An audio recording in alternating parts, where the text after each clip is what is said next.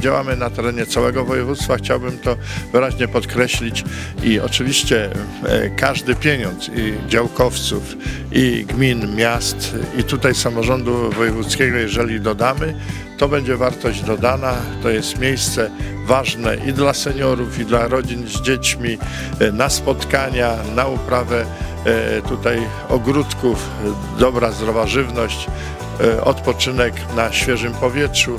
To miejsce wielu spotkań, również towarzyskich. To się liczy, chcemy te, tego typu działania jako zarząd województwa popierać. Te konkursy bardzo nam pomagają. Naprawdę.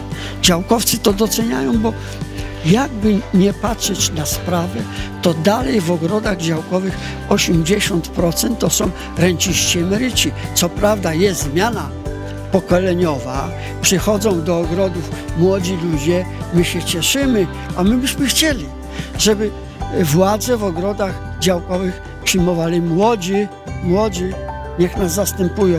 Nie ukrywam, że ta pomoc w rozmowach z niektórymi osobami, które działają w ogródkach działkowych, szukali wsparcia. No i tak sobie pomyślałem, czy czasami powiązane z rolnictwem jest, są ogródki działkowe, bo tam jednak, co by nie było, dużo ludzi pracuje związanych z rolnictwem, warzywa, owoce produkują i czy nie, nie byłoby możliwości pomóc. No i przyglądając się w dokumenty z tamtego roku, bo nie ukrywam, że rok temu chciałem, żeby to było bezpośrednio wsparcie dla ogródków działkowych, okazało się, że musimy przez y, jednostki samorządu tery- terytorialnego, a idea, jednak tutaj jak pan prezes wspomniał, jest duża rzesza ludzi, zwłaszcza starszych, a to przede wszystkim można było, było widoczne przy covid -zie. Ci, co mieli działki, mieli zupełnie inne funkcjonowanie niż ci, co mieli, byli tylko w blokach pozamykani.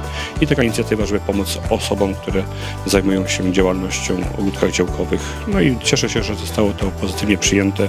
I nawet w tamtym roku tych wniosków dosyć dużo wpłynęło.